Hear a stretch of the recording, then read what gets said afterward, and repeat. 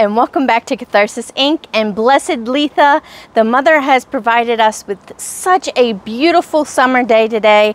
I believe the high is going to be 98 and there's a really nice breeze going on. So to celebrate the Sabbat today, I think I want to do a little bit of baking, some crafting, and then I want to end the evening with a fire, making s'mores with the kids. So I'm really excited to spend this day with you. So first we're going to start with some baking and when I was looking up recipes to make I really wanted to incorporate items that were in abundance right now. So I found some strawberry scones that I want to make and also I'm gonna garnish it with some chamomile cream. And that sounds absolutely delicious. I can't wait to try them.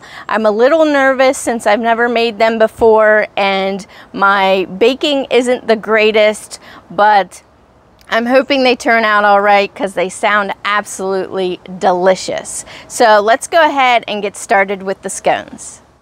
So for the strawberry scones, you will need two and a half cups all-purpose flour, two tablespoons granulated sugar, one tablespoon of baking powder, one fourth teaspoon of salt, half a cup or eight tablespoons of unsalted butter that is chilled and diced, one cup chopped fresh strawberries, two eggs lightly beaten, a half a cup of heavy whipping cream that's chilled, one tablespoon of milk to brush on the top of the scones, and half a tablespoon of coarse sugar to sprinkle on the top of the scones.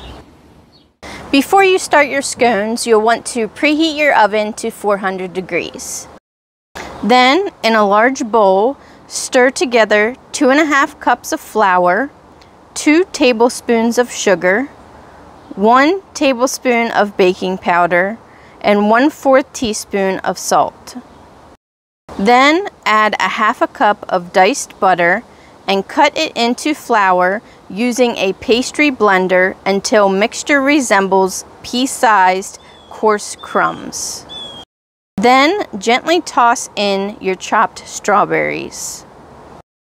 Make an indentation in the center and set the bowl aside. In a second small mixing bowl, beat two eggs, then stir in half a cup of heavy cream. Add the egg mixture to flour mixture and use a large spoon to gently stir just until moistened. Do not overmix. Place dough onto generously floured sheet of parchment paper. Pull dough together and shape it into a 3 4 inch thick circle. Cut into 12 equal wedges and pull them apart slightly, at least a half an inch apart. Brush wedges with one tablespoon of milk, then sprinkle with coarse sugar and bake at 400 degrees Fahrenheit for 15 to 16 minutes or until puffed and golden.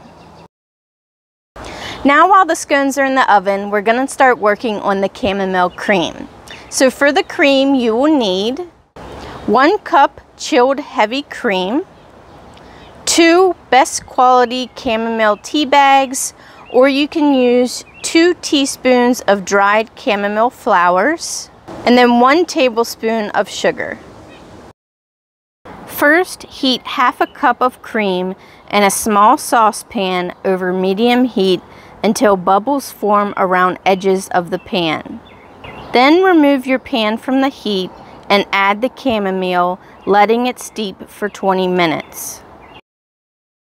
After it steeps, transfer it to a medium bowl, cover it, and then chill it until cold about two hours. Next, strain chamomile cream through a fine mesh sieve into a medium bowl. Add remaining half cup cream and remaining one tablespoon of sugar. Using an electric mixer, beat chamomile cream until soft peaks form.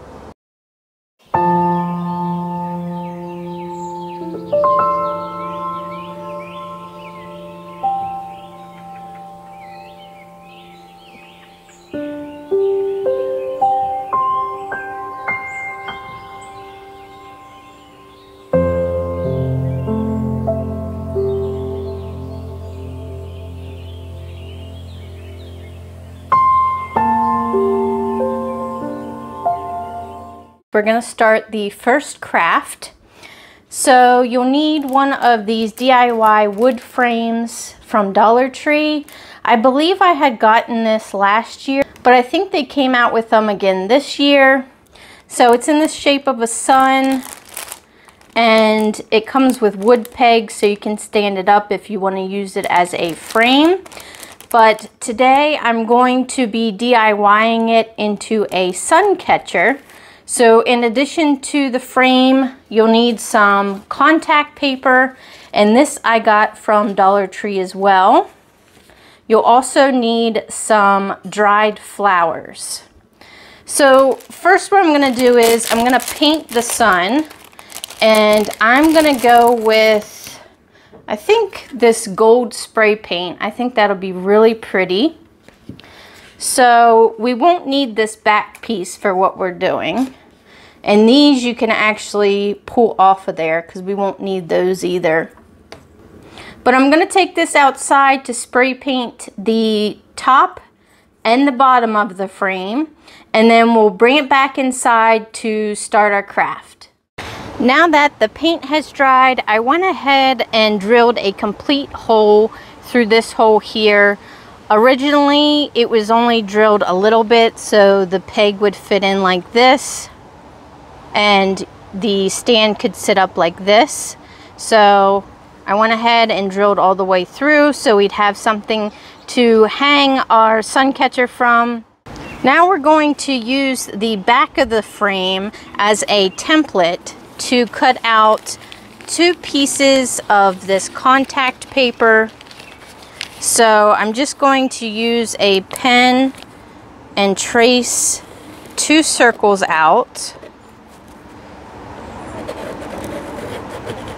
Then I'm gonna go ahead and cut these out and I'll show you what we're gonna do next. Now we're going to take one of the circles and unstick it from the paper and lay it sticky side up. And then we are going to start laying our dried flowers on the sticky part.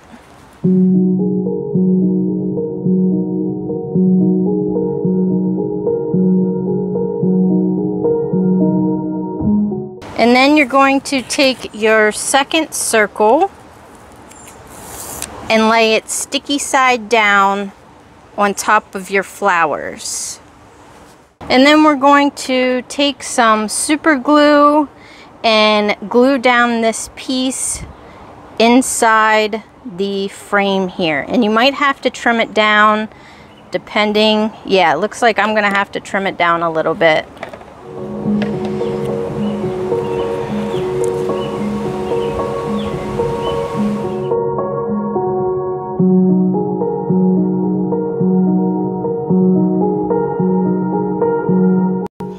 And this is how it turned out. I think it is so pretty.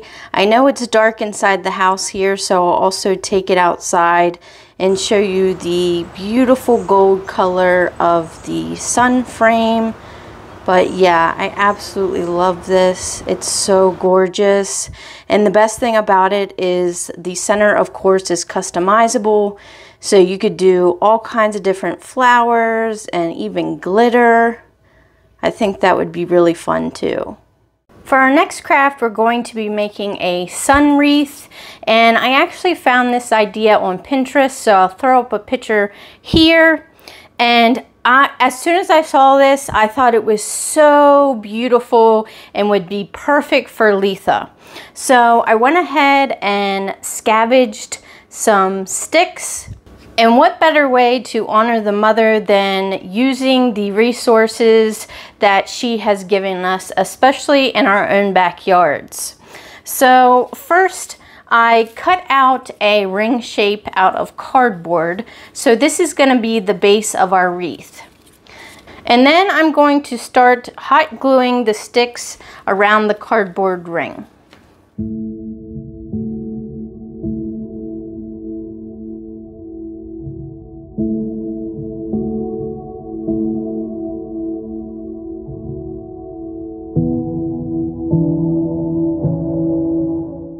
But this is how the wreath has turned out so far. It took me about 30 minutes As you can see, there's clumps of glue everywhere. It took a lot of glue to adhere this. And as you can see, there's some white cardboard showing through. To prevent that, before you start gluing on the sticks, you can always paint the cardboard ring a nice brown color if you wanted to. I'm not too worried about it because I'm going to put the fabric roses on top of those specific spots. So let's go ahead and start our roses now. So for our roses, I have this beautiful bright yellow fabric that I'm going to be using. I've never made these roses before. Apparently they're called rosettes. And from what I've seen on YouTube, you cut long strips of fabric and then roll it up. And as you roll it up, you twist it as well. So I'm to try doing that and see what it looks like. I think I'm to start with five roses at first and see how that looks on the wreath and then we'll go from there. But let me go ahead and start cutting strips of this fabric.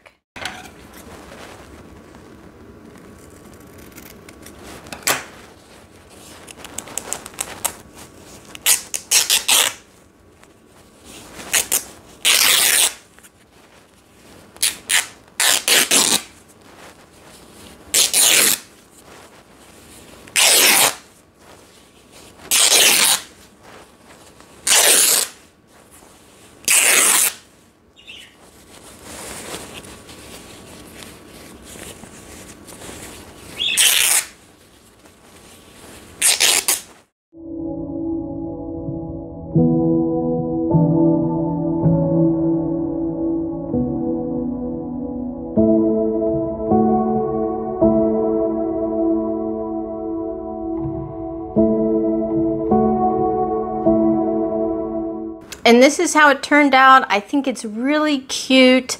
I just, at the end of the fabric there, I did a small dab of hot glue to hold it in place. So let me do a couple more of these and then we can start hot gluing them onto the wreath. Now that I have all the roses complete, I'm going to start decorating the wreath. And I wouldn't be a true forest witch if I didn't put some moss on the wreath. So I have some moss and I'm going to go ahead and put some of that on before I put the roses on.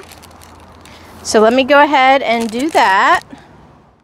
So this is what it looks like with the moss on. I think it looks really pretty. So now I'm going to start adding the rosettes to it. And this is how it turned out. I went ahead and put it on my front door. I think it is perfect for the Sabbat and keep out all summer long. So the kids and I decided it's way too hot to have a fire and we're actually under a heat advisory so better safe than sorry we don't want to start any wildfires but the scones were absolutely delicious. I'm so proud of myself on how good i did. I didn't burn them they weren't undercooked they were absolutely perfect. And i'm also really happy at how the crafts turned out. I think they're so beautiful and they are the perfect litha craft. Thank you all so much for hanging out with me today. I had a beautiful day. If you enjoyed this video, definitely give it a like and subscribe, and I'll see you in the next one. Thanks, guys. Bye.